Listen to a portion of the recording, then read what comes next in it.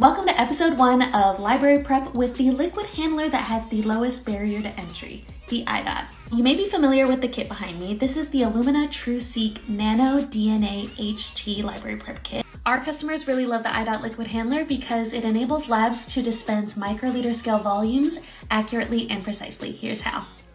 This is the TruSeq Nano DNA Library Prep workflow.